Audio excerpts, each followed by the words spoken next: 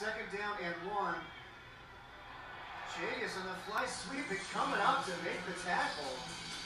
A terrific play there. Big number 77. Here we go, third and goal. Palandeck under center. Gonna keep it, trying to work that left side. Nowhere to go. It is Abram Holland. Holland again. How about that? Big number 77. Abram Holland coming up and making the stop. The two-way guy. Look at the get off, and he splits the double team and is able to grab him in the backfield. Great play by Holland. A loss of two on the play, and that's going to bring up fourth down. They're going for it. Second and goal. Chavius keeps it. Holland brings him down.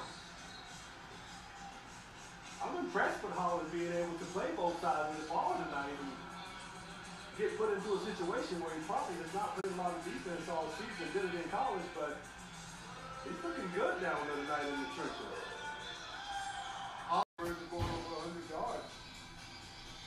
Fortunately, he's been one of the only bright spots tonight for this year Raptors team. They just haven't been able to get anything going. And how about Abram Holland coming off the line to chase him down and make the tackle?